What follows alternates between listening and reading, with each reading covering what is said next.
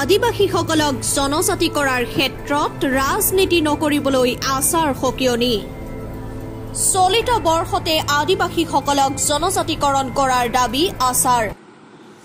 আদিবাসীসকলৰ জনজাতিকৰণৰ বাবে ভাৰতৰ মহাপঞ্জীয়কে ছয়ত্ৰিশটা উপজাতিৰ নাম ঘোষণা কৰাৰ পিছতে একাংশ ৰাজনৈতিক নেতা সাংসদ পল্লৱ লোচন দাস শাসকীয় দলৰ মন্ত্ৰী সঞ্জয় কিষাণ তেৰছ গোৱালাই জনজাতিকৰণৰ ক্ষেত্ৰত বিৰোধিতা কৰাৰ বাবে আজি টংলাত আদিবাসী ছাত্ৰ সন্থাই তেওঁলোকৰ প্ৰতিমূৰ্তি দাহ কৰে।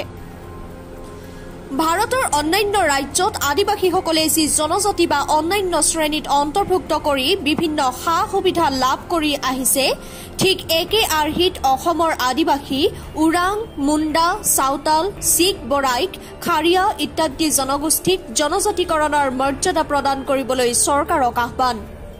আনহাতে চৰকাৰে চলিত বৰ্ষতে যদি আদিবাসীসকলক জনজাতিৰ মৰ্যাদা প্ৰদান নকৰে তেন্তে আছাই আগন্তক বিধানসভা নিৰ্বাচনত বিজেপি দলক উচিত প্ৰত্যুত্তৰ দিবলৈ সাজু।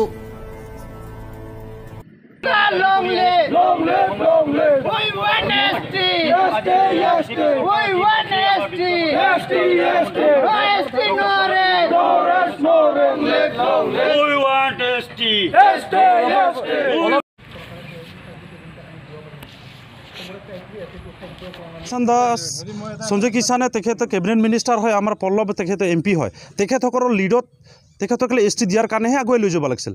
আজি তেখেতলোকৰ নিচিনা কেবিনেট মিনিষ্টাৰ থকাৰ পিছত আমাৰ আদিবাসীৰ কাৰণে এক্টহে পাছ কৰিব লাগিছিল একৰ্ডহে বনাব লাগিছিল। কিন্তু সেইবিলাক কৰিব পৰা নাই সাহস কৰা নাই। কিন্তু যিটো পাই আছোঁ বা যিটো আদিবাসী জনগোষ্ঠীক দি আছে তাতহে তেখেতসকলে খেলি মেলি কৰিবৰ কাৰণেহে লিড ল'বৰ কাৰণে আমি দেখা পাই আছোঁ। গতিকে পল্লৱ লোচন দাসৰ কাৰণেই কিন্তু যদি বিজেপি যদি ভোট নাপাব একমাত্ৰ কাৰণ হ'ব পল্লৱ লোচন দাসৰ কাৰণেহে বিজেপি কিজানি কালি অহা বাৰত ভোট নাপাব পাৰে। কাৰণ তেখেতে আজি ভালকৈ লিড ল'ব লাগিছিল। পল্লৱ লোচন যিহেতু এম পি হয় আজি এছ টি কৰণৰ কাৰণে কমচে কম আদিবাসীক লৈ দিল্লীত বহাব লাগিছিল। ট্ৰাই পাৰ্টি টক এৰেঞ্জ কৰিব লাগিছিল। তেখেতসকলে সেইবিলাক নকৰি পেলাই তেখেতসকলে যিটো প্ৰাপ্য আছে তাক খেলি মেলি কৰিবৰ কাৰণেহে লাগি আছে। দ্যাট মিনছ ভোটৰ অংকহে কৰিব ধান্দা কৰি আছে। তাৰ মানে খালি ভোট বেংক বনাবৰ কাৰণেহে মানে সেই নীতিৰ মিতিৰালি কৰিবৰ কাৰণে খুজি আছে। আমি ইয়াক পল্লৱক কৈ আছোঁ যে পল্লৱ আপুনি এছ টি আপোনাৰ পৰা আমি খোজা নাই। চৰকাৰৰ লগৰ পৰাহে খুজি আছোঁ। গতিকে আপুনি লিড লওক। বিঙে আদিবাসী যদি আপুনি নিজকে সঁচাই আদিম যুগৰ মানুহ যদি ভাবে বা অসমৰ খিলিঞ্জীয়া যদি ভাবে তেতিয়াহ'লে লিড লৈ পেলাই ট্ৰাই পাৰ্টি কৰক। আজি অমিত শ্বাহৰ লগত বহা কিটোতো কৰিব পৰা নাই কিন্তু যিটো দি আছে সেইটোক কিন্তু খেলি মেলি কৰা কৰা দেখা পাই আছোঁ। আৰু এই খেলি মেলি কৰাৰ কাৰণে কালি যদি এছ টি নহ'ব তেতিয়াহ'লে পল্লৱ লোচনৰ দাসৰ কাৰণে কি এছ টি নহ'ব। আৰু সেইটোৰ কাৰণে পল্লৱ লোচন দাসৰ কাৰণেহে আদিবাসীৰ কিন্তু ভোটটো বিজেপি নাপাব একদম খাটাং। তাত আমাক দায় দি লাভ নাই। তেখেতসকলৰ লিডিংটোৱে গড়বড়ি আছে। আৰু সেই লিডিং যোনটো নেকি আদিবাসীৰ কাৰণে এগেইনষ্ট হৈ আছে সেই এগেইনষ্ট কৰাৰ কাৰণে বিজেপি কালি ভোট নাপাব পাৰে। পল্লৱ লোচন দাস আটচাৰ পৰাই তেওঁ গৈ ৰাজনীতি পথাৰখন ভৰি দিছিলে। সেইবাবে তেওঁ আটচাক বেছি ভাল পায় নেকি? আচাক গুৰুত্ব নিদিয়ে। আমি এনেকৈ ভাবিব লাগিব। তেখেতসকলে যদি সঁচাকৈ আজি ৰুলিং গভাৰ্ণমেণ্টৰ এটা ৰিপ্ৰেজেণ্টেটিভ হয় ৰুলিং গভাৰ্ণমেণ্টৰ এটা সংসদৰ এটা এম পি হয় তেখেতসকলে সকলো জনগোষ্ঠীক লৈ পেলাইহে মানে পলিটিক্স কৰিব লাগিছিল ৰাজনীতি কৰিব লাগিছিল। তেখেতসকলে মাত্ৰ কি আঠচাৰ ভোট লৈ পেলাই মানে ৰাজনীতি কৰিব খুজি আছে নেকি?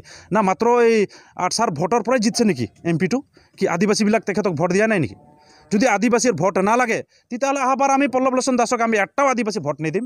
চাওঁ কি হয় পাঁচ বছৰহে এনেও সহ্য কৰি আছোঁ দহ বাৰ বছৰ বিছ পঁচিছ বছৰ। আদিবাসীৰ হিষ্ট্ৰীয়ে মানে হাজাৰ বছৰৰ পুৰণি হিষ্ট্ৰী হয়। সেই হিষ্ট্ৰী যদি যদি নাজানে তেখেতে পঢ়ক। আমি পাঁচ বছৰ পিছত দেখাই দিম যদি পল্লৱে সঁচাকৈ আমাৰ লগত যদি গাদ্দাৰী কৰি আছে। আমি দেখাই দিম। তাৰ কাৰণে আমি ৰেডি আছোঁ। ইয়াৰ অৰ্থ এয়াই নেকি আটচাৰ ওপৰত বিজেপিৰ আশীৰ্বাদ আছে?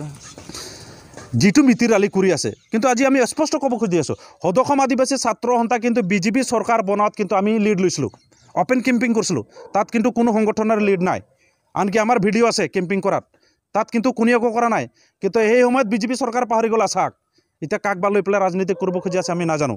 কৰক আমাৰ ক'ব লগা আপত্তি নাই। কিন্তু আমাৰ জাতিৰ স্বাৰ্থ যিটো ইছ্যু আছে সেইটোৱে পূৰা কৰিব লাগে আমাক। বেলেগ বস্তু আমি ইয়াত একো দাবী কৰা নাই। যিটো আমাৰ ছিক্স চিডিউলৰ প্ৰাপ্য সেই প্ৰাপ্যখিনি আমাক পাব লাগে।